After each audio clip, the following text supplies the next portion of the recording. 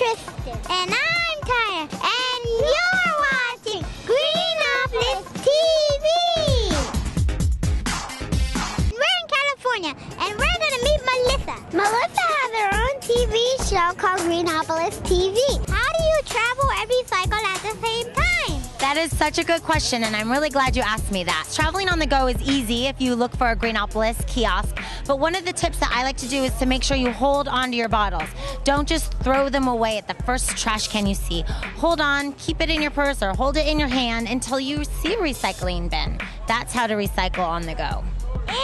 And if there's no recycling bin, you can take it home and maybe draw a face or make something new out of it. That is such a great tip. I think everyone's going to learn from that one. If you can't recycle it, try to find a way to reuse it. That's how to recycle on the go. Do you recycle? We recycle, yeah. Recycling helps the earth. It can save animals, it can save birds, puppies, and all kinds of things. You're so right. And a lot of animals that recycling helps to save are the ocean animals. Because a lot of our animals in the ocean mistake trash for food. They're eating items that we could be recycling. And do you like to recycle, SpongeBob? Absolutely, I do every single day. What's the best part about your job? Meeting people like you. I love going and meeting all different people, talking about recycling and ways that we could help save the earth.